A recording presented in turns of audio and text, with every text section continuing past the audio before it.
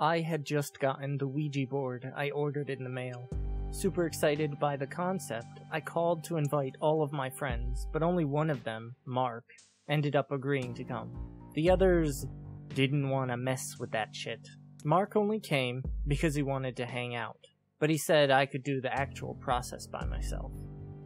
So later that night, I was at my kitchen table with Mark in the kitchen getting a soda when my hands started to move. Hey, Mark, check it out, I called to my friend. Whatever, man. No, no, look. R Dude, stop. You're spelling run. U N See? Told ya. Nice try. F R O M, Run from. Mark said, puzzled, wary. H I M. I looked to Mark, now standing completely stiff in the kitchen. I have to admit, I was pretty freaked out myself. Then Mark turned to me.